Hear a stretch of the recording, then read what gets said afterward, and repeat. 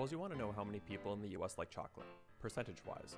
So you call up one random person and ask, Do you like chocolate? If they say yes, your best guess is 100%.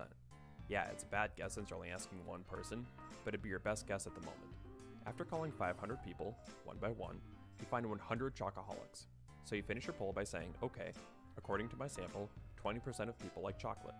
Now, if you were to ask another group of 500 random people, you'd expect to get a different result just by chance.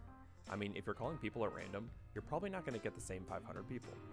So long as you're calling a large number of people, the answers people give are independent of one another, and you perform a large number of polls, the central limit theorem tells you how the results of your polls will be distributed. It says the results of the battery of 500 person polls will form a bell curve centered around the percentage of people who like chocolate you wanted to know. How neat is that? That's pretty neat. All the while requiring virtually zero knowledge about the population itself.